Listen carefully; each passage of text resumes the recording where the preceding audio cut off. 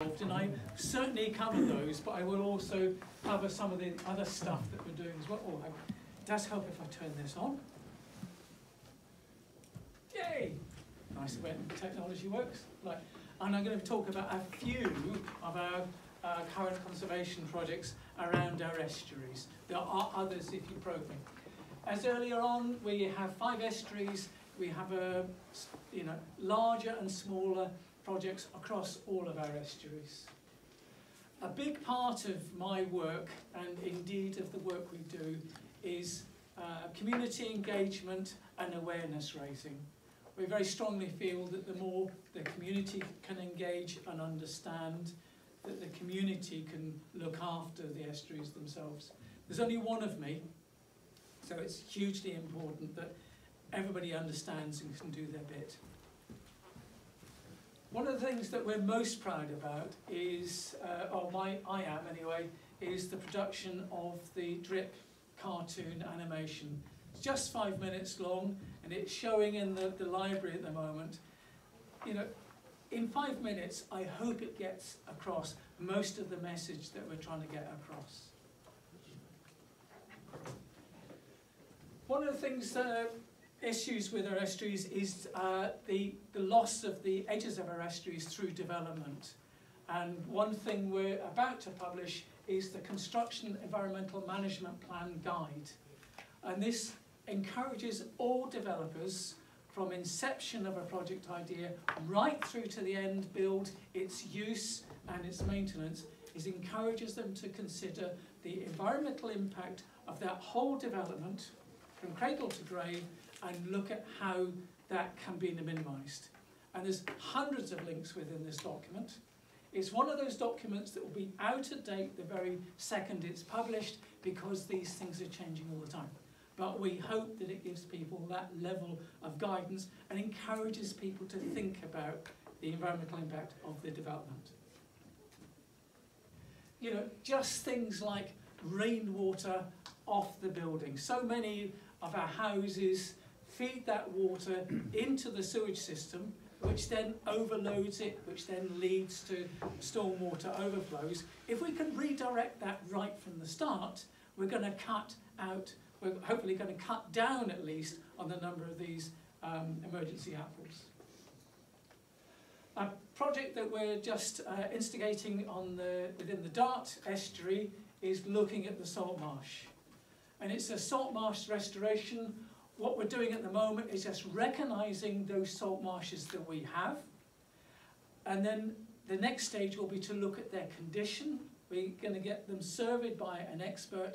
We are hoping that they will then come up with prescriptions that will bring those salt marsh habitats into their, their prime condition, both in terms of their biodiversity and their carbon take-up.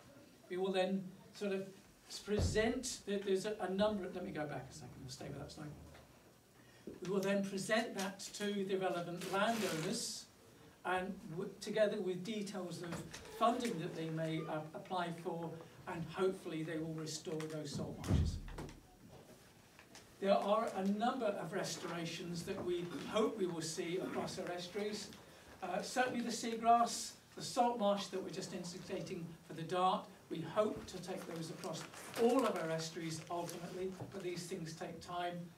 And I'd love to see um, a restoration of our native oyster uh, beds in the bottoms of our estuaries as well. You'll have heard a lot about the Pacific oyster, that's more of an intertidal animal, the native oyster is more of a, a seabed animal that would literally filter the water.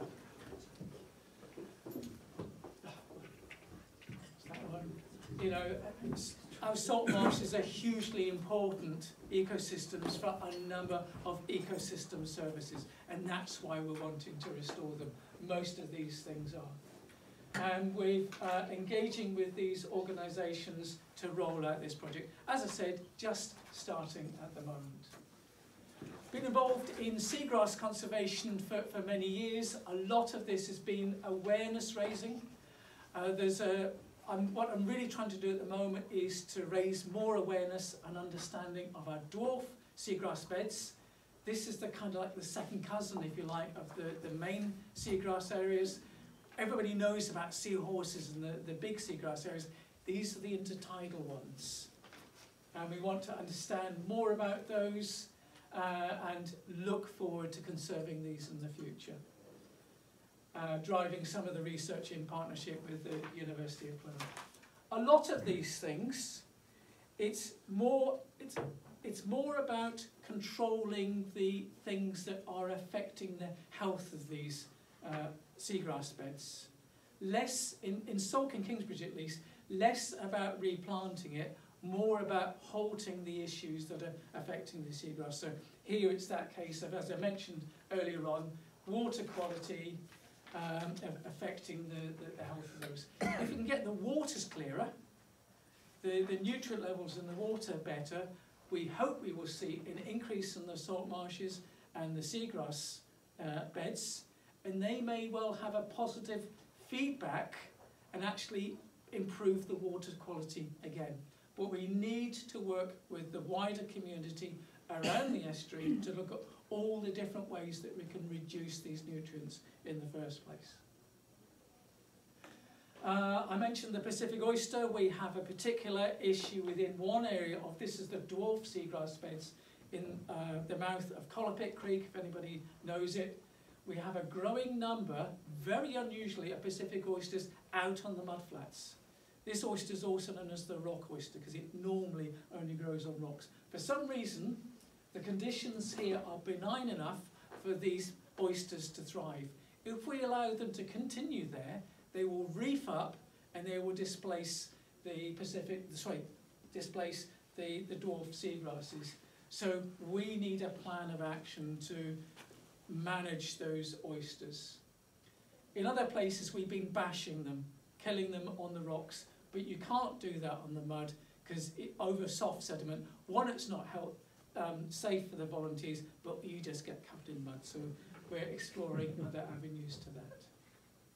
And as I said earlier, marine conservation is very much about managing the, the issues and then the ecosystem will tend to look after itself. It's not truly rewilding, but it's that kind of thing.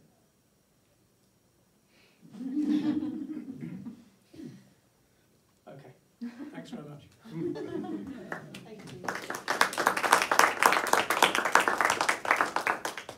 Do you want to just swap Yeah, yeah. that? Shall I unplug?